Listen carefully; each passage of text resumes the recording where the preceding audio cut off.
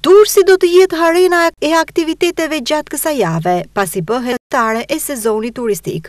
Bashkia e Durrësit në datat njëzet e tre deri në njëzet e shtatë maj do të organizojë në qytetin bregdetar një sërë aktivitetesh kulturore e sportive në kuadër të Javës së Turizmit. Detajet i dha vetë Bashkia e Durrësit duke bërë me dije se ku do të organizohen eventet kulturore.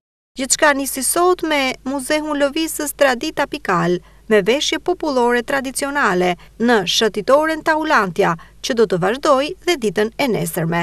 Më njëzet e pesë maj, mësohet se do të zhvillohen aktivitete sensibilizuese për mbrojtjen e mjedisit, me një aksion pastrimi në vendin Sektor Rinia. Në njëzet e gjashtë maj, aktivitete sportive gjatë vijës bregdetare nëpërmjet të rinjve të qytetit. për të vijuar më pas më njëzet e shtatë maj me Street Party përgjatë Bulevardit Epidamn. Eja festo dhe ti me javën e turizmit, është mesazhi që jepet gjatë këtyre ditëve.